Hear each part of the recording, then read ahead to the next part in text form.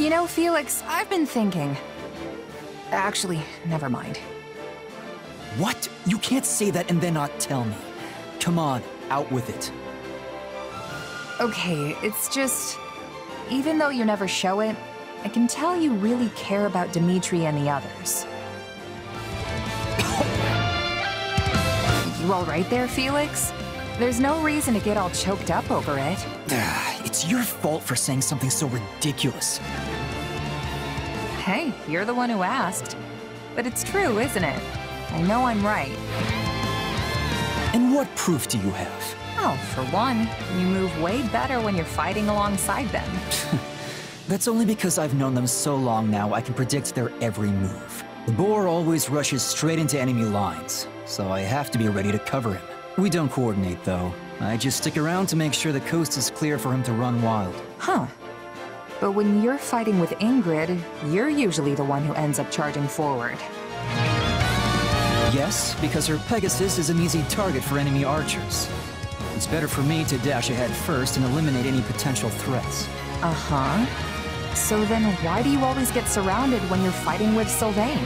Because the braggart always insists on showing off. Though if nothing else, he does have the skill to fight his way out of any bind.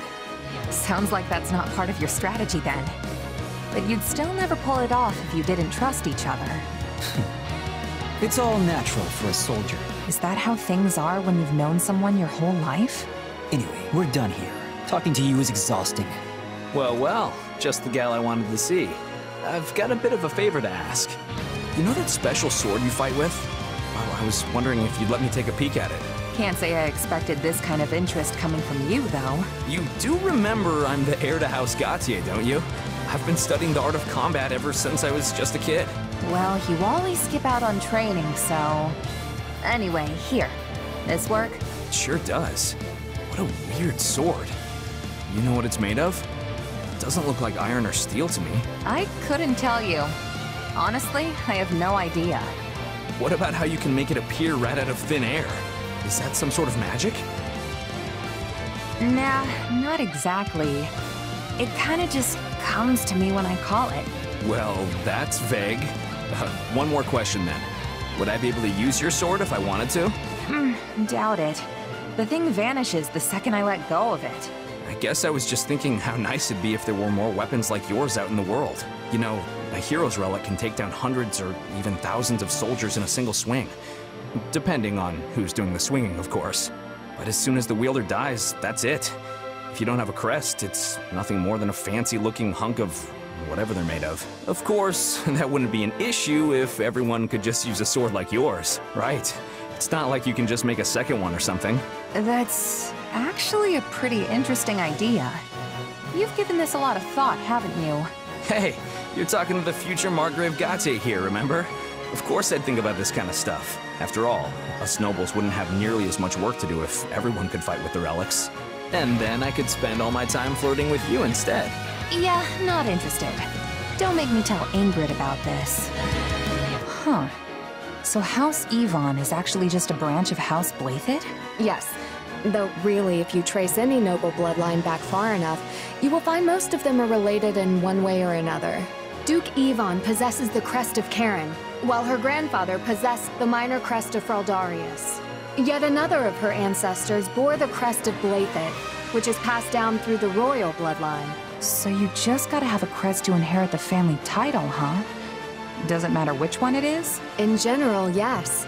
The nobility used to be more particular about their requirements, but that is in the past now. Since the houses all keep intermingling, none of them really have a pure bloodline anymore. Meaning they don't get to be picky about which crests they get. Though in truth, the main reason why crests are so valued is because they allow their bearers to wield the hero's relics, passed down through generations. In other words, one who possesses a crest compatible with the family's relic is much more likely to inherit the family title. And at times in our history, crest bearers have been passed over entirely for the inheritance. Ugh, can't you just pick a rule and stick to it? Why do you nobles always have to make stuff so complicated? If you stay ignorant, the soldiers you command will lose respect for you, and His Majesty's reputation will be irreparably damaged. You're the legitimate heir and you have a crest, which means you're gonna inherit the family title someday. But what about all that talk of becoming a knight? Can you even do that if you're leading your house? Hell. I have dreamt of obtaining knighthood and defending the king ever since I was a little girl. But I'm afraid it's not meant to be. And none of your siblings have crests, do they? Isn't there anyone who can take the title for you? My eldest brother says he is willing to do so if necessary. After all, the decision comes down to what the family and the heir want. Usually, leadership passes to a child with a crest. There have been exceptions, as I mentioned before. Even so, it is the duty of every kingdom noble to take up their relic in defense of their people. Not to mention, my father is not the only one who wants to see me in charge of the house. The citizens of Galatea are hoping for the same. But wouldn't you still be able to protect the king, even if you ended up a count? I am not sure I follow.